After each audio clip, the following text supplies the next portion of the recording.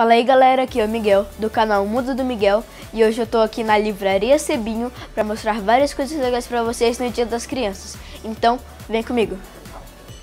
Aqui no Sebinho tem muitas coisas legais na área nerd. Na parte de leitura você vai encontrar muitos quadrinhos de hora de aventura. Na parte dos mangás você vai encontrar, por exemplo, Blue Exorcist. E na parte dos livros de literatura você pode encontrar Diário de um Banana de todos os tipos. Na parte de jogos, que é a minha área favorita, você encontra muita coisa legal, como esses jogos de carta de Pokémon e jogos de tabuleiros muito irados.